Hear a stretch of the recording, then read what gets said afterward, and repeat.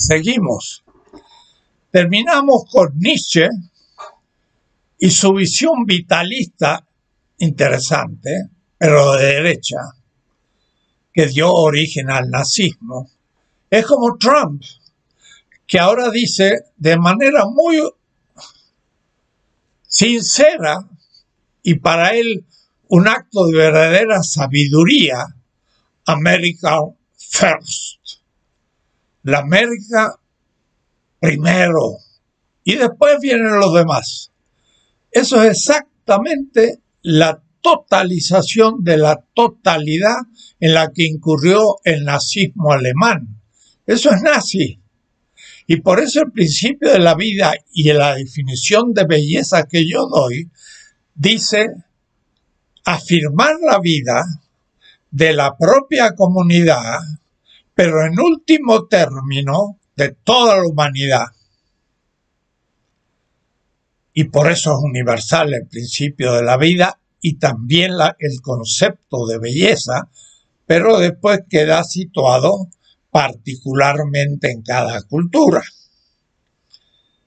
Y entonces la universalidad viene porque no puedo poner a mi comunidad nacional, por ejemplo, como la finalidad de los demás y dominar a los otros, porque mi dominación es contra la vida de muchos y quizás la mayoría no puede ser justa éticamente pero tampoco puede ser bella universalmente.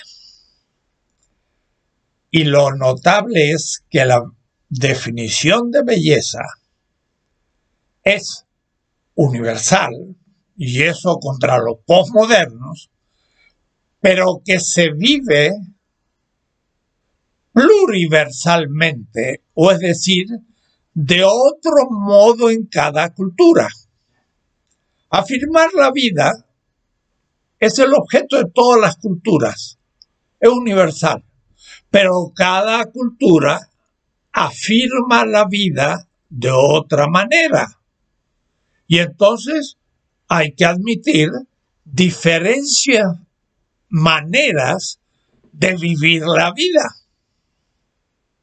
Pero Habermas y Apple y mis colegas de la escuela de Frankfurt dijeron, como la vida y los valores de cada cultura es muy distinta, no hay un principio material, hay solo un principio formal de, pues, la validez del consenso. Yo digo, no, la vida la firma toda cultura. Y si no, no es cultura y no puede existir porque se suicida. Pero cada uno tiene una historia y la firma de otra manera. Ah, pero es la vida. Entonces, la vida es universal, pero se cumple pluriversalmente.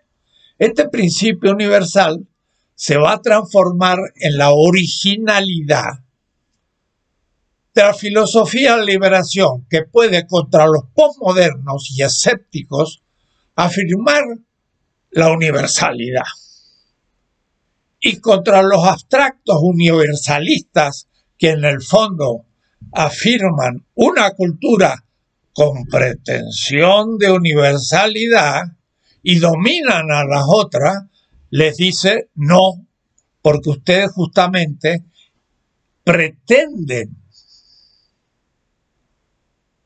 ser la universalidad, pero son una particularidad fetichizada. Ya veremos el temita lentamente. Y entonces estamos contra los universalismos abstractos, eurocéntricos, y contra el escepticismo postmoderno de una razón débil. Y entonces ellos ponen en cuestión las razones, pero también la razón crítica, que es la razón de los oprimidos. Y le quitan la razón también a los oprimidos. O es decir, le cumplen una función destructiva feroz. Yo no soy posmoderno. desde el primer día que escuché la palabra dicho por Lyotard y por Rorty y todos ellos. Yo pienso en la transmodernidad, más allá de la modernidad, no una última etapa de la modernidad, eso ya lo veremos. Entonces, la tesis es, hay totalidades estéticas, no me equivoco, hay totalidades artísticas ontológico. Eso, la ontología trata de la totalidad, un mundo. El mundo azteca era una totalidad estética. Lo era el maya, pero tenía muchas semejanzas porque era Mesoamérica. Los incas eran un poco distintos, pero también tenían semejanzas porque venían del extremo oriente y por eso los incas, lo he dicho siempre, tenían una bandera de 7 cuadrados por 7 cuadrados, exactamente con el mismo significado en Perú que los chinos tenían en la China en un gran libro que se llama el I Ching, que es un libro filosófico ante la escritura. Y entonces justamente es un mapa de 64 cuadraditos como este, que estos días en Bolivia los indígenas tienen esto y levantándose con una dictadura que justamente sacó esta bandera indígena de todos los lugares públicos por un racismo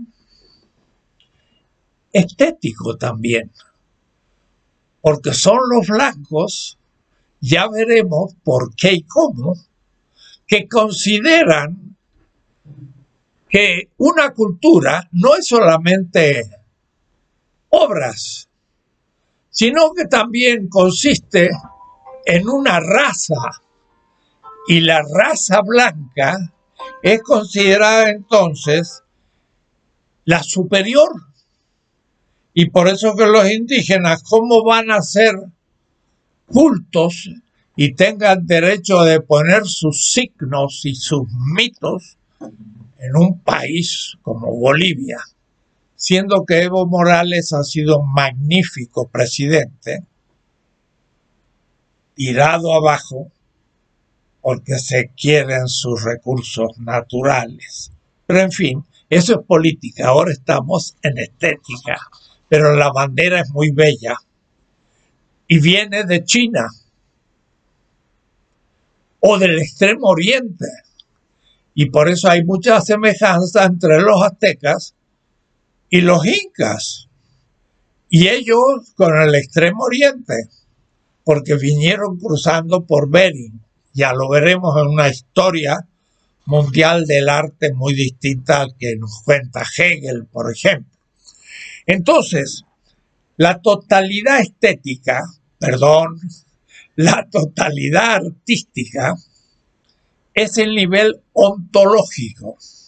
El ser de lo bello es el mundo. Y para Parménides, el ser es. Y el ser es la totalidad. Y por eso que Parménides decía, lo que mejor simboliza al ser es la esfera. Lo tomo así, la esfera, porque es perfecta. Y el no ser no es. Pero el no ser ya veremos, son otros mundos negados. Pero para poder negar los otros mundos, primero el sistema vigente se fetichiza. Tomo ese término de Marx. Él toma esa palabra fetizo, fetizo, le he escrito muchas veces F-E-T, pero no, es F-E-I-T, feitizo. que en portugués, viniendo al latín, la F se hace H y entonces el feitizo significa lo hecho. Pero en latín es facere, es la F. Quiere decir que el portugués no perdió la F y la dejó F. El castellano perdió la F y la hace H. Es hacer. Fetichismo, dice Marx, es lo propio de unos cultos africanos, porque leyó un autor que hablaba del fetichismo en el África. Y entonces, ¿por qué fetiche? Porque es hecho por la mano de los hombres. Y hay un texto, más lo conocía, un salmo del pueblo semita, que dice, han hecho su Dios con las manos y luego lo adoran. Y Marx cita ese texto allá por 1842 en un artículo sobre la leña, y entonces dice, fetichismo significa tomar algo relativo y hacerlo absoluto. ¿Por qué? ¿Y qué es lo relativo? Es la belleza de un pueblo. La belleza de un pueblo, el cómo concibe la belleza, no es lo mismo como la concibe otro, aunque los dos tengan una definición primera y general como el descubrimiento de la realidad de las cosas como fuente de la vida. Eso vale para todos, las culturas, pero cada uno la vive de otra manera. Pero si una se pretende no relacionado a otras, sino dice America First, yo soy distinto, ya no soy relativo a otros pueblos, si no soy único. Y entonces es una totalidad artística que se totaliza, se diviniza, porque su Dios es pretendido ser el Dios de todas las culturas. John Locke, John Locke, el gran fundador de la democracia liberal, justifica la conquista de América. Y entre otras cosas, porque dicen los indígenas tienen la tierra, pero no la trabajan como Dios manda. Pues son nómades o no son realmente productores. De tal manera que en realidad si la ocupan los colonos americanos en lo que va a ser Nueva Inglaterra, en realidad no se la robaron los indígenas porque no sabían cultivar, sino que le dan buen uso como Dios indica. Pero yo le digo como el Dios inglés indica. Porque esos indígenas vivían la tierra de otra manera que como los ingleses. Y la manera como lo vivían los ingleses, súper desarrollada, nos ha producido ahora el virus en los sistemas alimentarios que piensan en la ganancia y no en la vida. Ese es el problema que tenemos. Y Víctor Toledo, un ministro, secretario de Ecología en México, plantea ese tema de que hay que cambiar el sistema alimentario porque esto es lo que produce después esos virus peligrosos al, acumular animales para producir huevos en las gallinas de modo mecánico, poniendo puercos pues también amontonados y vacas, una vida completamente antinatural para producir carne, que después nosotros comemos y le han puesto antibióticos cuando se enferma y recibimos los antibióticos y se han puesto venenos a las plantas y cuando comemos las verduras, comemos también los venenos y, entonces tenemos diabéticos, tenemos obesos y tenemos una ah, población mal alimentada porque reina un nuevo Dios, el capital y no la vida. Y bueno, por eso es que cada pueblo tiene otra concepción de la belleza. Y la cultura occidental liga mucho el capital a la belleza y a la belleza de una cierta manera. Entonces, el tema es que una totalidad dominante, por ejemplo, sí señor, la egipcia, o la del imperio chino, o de los imperios que hubieron en la India, o los califatos árabes, o la cristiandad bizantina o el Sacro Imperio Romano de Carlomagno. Estas totalidades, y de Europa, por supuesto, posteriormente, se fetichizan creen que son las privilegiadas, se divinizan y entonces desprecian a las demás y se transforman en dominadoras. Y como son totalidades artísticas, estéticas, hay una fetichización de la belleza de esa cultura y de ese estado muchas veces. Y entonces por eso que el texto de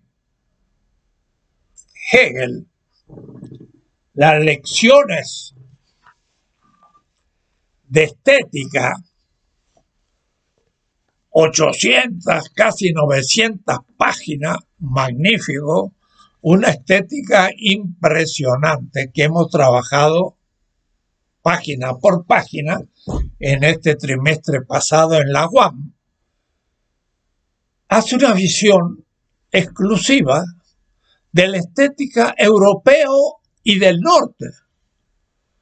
O es decir, parte de los pueblos simbólicos del Asia medios amontonados culminan en Egipto. Pero luego Grecia es la gran belleza clásica. Y de ahí en adelante lo romántico, que para él ya lo cristiano, pero es lo germánico, que deja de lado España, Portugal y, el sur de Europa, aunque no el Renacimiento. Y esa visión para Hegel es la belleza universal. Todos los demás, bueno, simbólicos, son tipos de belleza mucho más, mejor, mucho menos desarrollados. De África habla atrocidades. Y de América Latina ni la nombra. Parece que los aztecas y los mayas y demás no tuvieron arte. Y la China muy poquita referencia. Y la India, en fin. Pero los griegos ahí sí se dedica al helenocentrismo. Fetichiza la artística europeo occidental en realidad no es ni europeo, sino es el norte de Europa. Porque Hegel dice bien claro, el norte de Europa es el corazón de Europa. Alemania, Dinamarca, Inglaterra. Hasta Francia la deja un poco de lado y la Italia el Renacimiento también, porque no hacen la revolución industrial fuerte.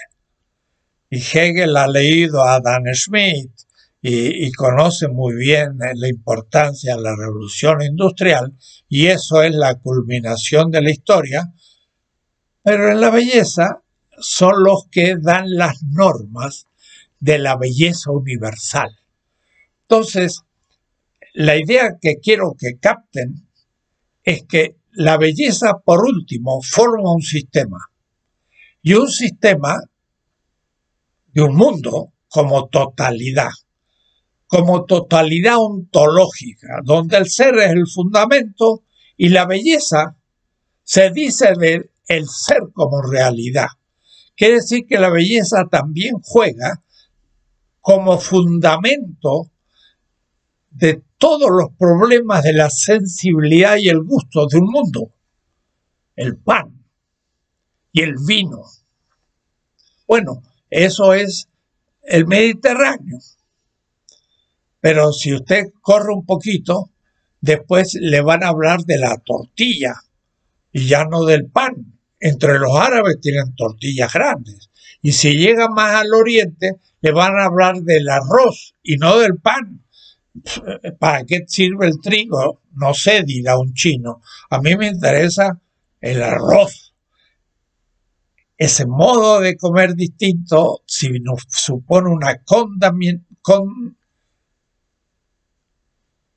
un gusto distinto, un, darle gusto a la comida de, con otro gusto, con otro paladar, supone un otro arte culinario, del cual hay que hablar también en estética. Y ahora, claro, hay grandes cocineros, porque estamos en la época del gourmandismo. Ahora comer es algo precioso y van algunos cocineros de Londres o Berlín y pagan 200 dólares por una comida. Hasta a veces suben a una avioneta para comer en el aire y otros salen al mar o a un río para comer y claro, le cobran como le cobran.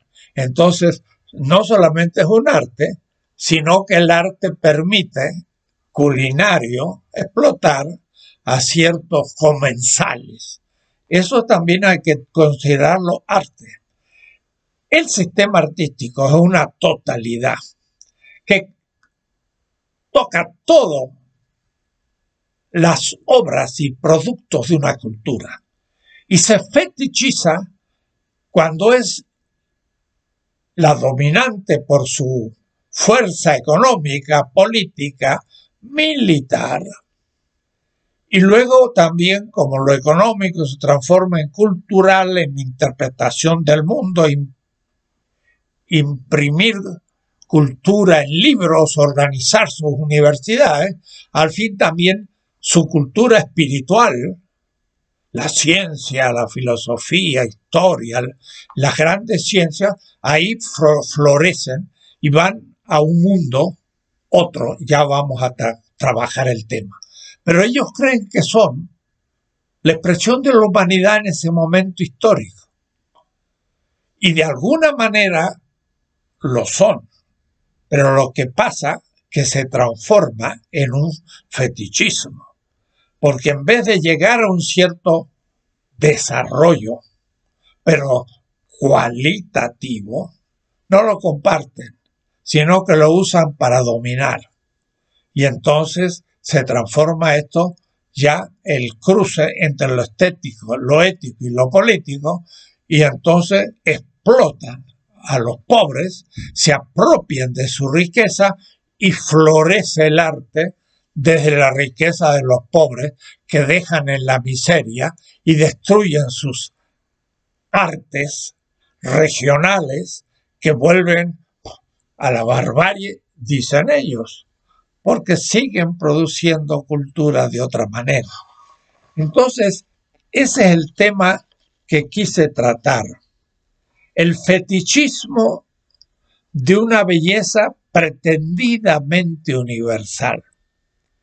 Y eso, como dije, no son solamente obras, sino son los sujetos.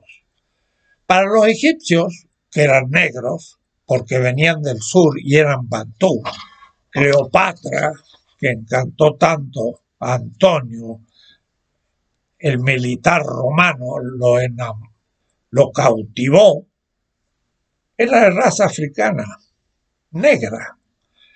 Tenían unos perfumes maravillosos y unas vestimentas que los romanos ni conocían, y una delicadeza y una limpieza que era cultísimo con respecto a la barbarie, casi yo diría romana. Y los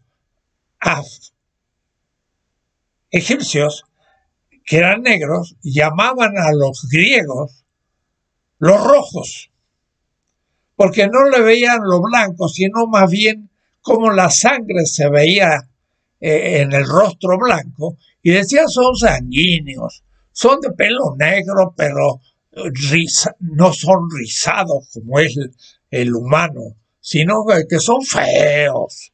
Y los romanos, que eran blancos, pero de pelos negros, cuando llegaron a, la, a Germania y eran los bárbaros que bajaban de la selva, claro que le destruyeron las legiones romanas y nunca pudieron pasar el Rin. Eran bravos los germanos.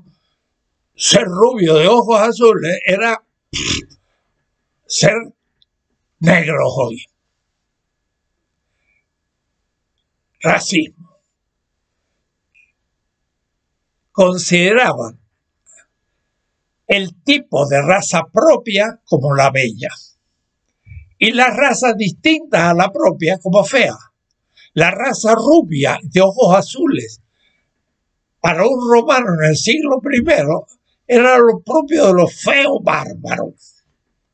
Y hoy Claro, una rubia sueca, aunque los suecos son mucho más abiertos, quizás un alemán, miran a los mestizos y a los negros, mm, cuidado, hay que pedirle la identificación y sobre todo en Estados Unidos.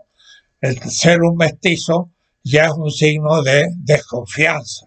Y entonces mire el racismo que están viviendo en Estados Unidos, propio de la fetichización de la belleza de los blancos. Y, existe ahora un concepto y un tema filosófico, la blanquitud, de whiteness. Y es también un fetichismo de una raza que desprecia a las otras. Y esto es un problema estético. Entonces, el fetichismo es la divinización de un mm, concepto de la belleza.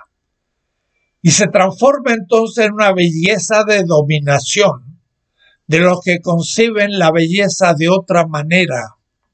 No que sean feos, conciben la belleza de otra manera. Y aún por la dominación han caído en la pobreza y en la imposibilidad técnica de expresar su belleza. Pero cuando pueden, oh, se hacen presentes. Miren, yo siempre digo, yo he estado en el África, por ejemplo, en Tanzania, en un gran congreso de pensadores del sur, del tercer mundo, con africanos asiáticos, y estaba Nyerere. Y entonces yo me escapé también y llegué en Tanzania hasta la costa del Océano Índico, que es al este de Tanzania, o es decir, la África Oriental. Un pueblito se llama Mazamba que fundaron los portugueses donde hay una fortaleza. Y ahí había una comunidad religiosa en una iglesita que tendría 15 metros por 50 y estaba con 500 personas. Y esa gente eran cristianos. Se cantaban. Cantaban en tres voces una, otra y otra. Y cantaban, claro, inevitablemente, con un ritmo de su cuerpo. Y yo estaba en medio de ellos escuchando esa liturgia de una iglesita perdida. Y ese ritmo a tres voces de 500 personas, incluyendo a los niños, era una belleza que ni en Bolshoi se puede ver, ni tampoco en la Ópera de París. Maravilloso.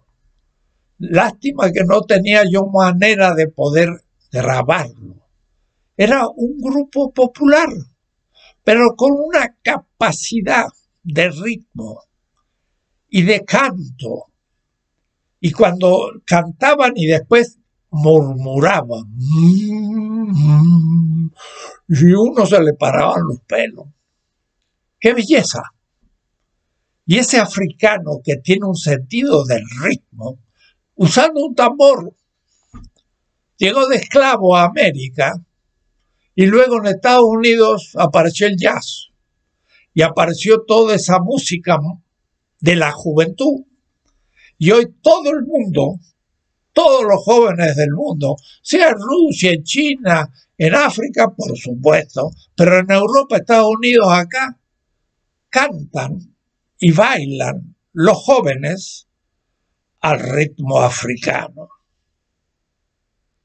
Es un hecho universal, artístico. Entonces vemos cómo hay producción artística en los pueblos aún más dominados. Pero eso lo veremos de a poquito. Ahora nomás quise mostrar esta intercepción del arte con la cultura y al mismo tiempo con la ética, porque cuando se hace dominación, ya también es ético, pero no solo ético, es político, porque es la doctrina de la educación de un Estado racista como la norteamericana, pero también se hace militar, porque se domina a los otros por su color de piel o por su cultura, pero también tiene un sentido erótico porque también es la dominación del género y también de todos los niveles. Entonces, surge el concepto que quise hoy indicar. Estética o artística de la dominación. De una cultura que se pretende universal y que se impone a las demás con un juicio justamente como diría Kant, un juicio de gusto. El genio no tiene principios, pero el gusto de un pueblo tiene principios, normas, ritmos, y esto se impone sobre otros. Y las élites de los países coloniales lo adoptan para imitar a los dominadores metropolitanos y para dominar a sus pueblos periféricos. Quiere decir que se reproduce lo que Pablo González Casanova llama la dominación interna. Y eso es el desprecio que en Bolivia tiene un 10% de pobres, a un 70% de indígenas y a un 25-30% de mestizos. Y eso se hace brutal, criminal porque es tal el odio racista que es también estético, porque son feos. Hay que hacer una estética de la liberación completamente distinta. Creo que por hoy es suficiente, pero claro, estos son las hipótesis para lo que haremos en el futuro ya más trabajado. Pero son los puntos 5 y 6 del nuevo programa. La próxima seguiré mostrando aspectos de la segunda constelación que se apoya en lo dicho. Hay que entender que un sistema de belleza se fetichiza. Y ahora entonces viene desde los oprimidos, desde los feos, los nacos, el descubrimiento de su propia belleza. Y de ahí la potencia para crear un nuevo mundo estético. Y entonces tenemos la estética de la liberación, tercer momento, tercera constelación, la creación artística de la novedad. Esto Nietzsche lo vio, pero invertido. Dijo, los fuertes y los saludables son oprimidos por los débiles. Hay que tirar a los débiles y hay que pasar ahora a gestionar la totalidad, pero como dominación. Entonces, éticamente tampoco funciona, porque no es asunto de que los oprimidos pasan a ser opresores. Es cuestión de que la belleza oprimida no domine, sino cree un nuevo universo donde todos se reconozcan. Eso es el tema de la liberación y no crear un nuevo sistema de dominación. Cuando se cree esa nueva dominación, fruto de una belleza que se liberaba, habrá que también tirarlo abajo y crear otra etapa histórica con una nueva belleza. La historia es eso. Es ya una filosofía de la historia del arte. Y el arte como una potencia creadora, pero que debe de también cruzarse con la estética, con la ética, que sea una potencia creadora de la belleza justa y entonces política también y militarmente al servicio y no opresora. Hay que cruzar los campos para hacer un proyecto humano donde la estética es muy, muy importante, porque incluye la afectividad, el sistema límbico, no el neocortical solo, la sensibilidad, el gusto, la felicidad. De tal manera que la economía política hace que el obrero tenga buen salario, o mejor, se llegue a la igualdad. ¿Para que Para llegando a su casa pueda festejar un banquete. Y ahí está la estética. O decir que en realidad la economía política como si fuera la propedéutica de la estética. Porque al fin es en la casa la familia feliz. El objetivo de todas las familias, de toda la humanidad, en una casa habitable, con un vestido aceptable, con una comida sabrosa, etcétera, etcétera, es de nuevo el libro de los vivos de Egipto que le pusieron libro de los muertos y le dice Osiris al muerto, ¿qué hiciste de bueno en la vida?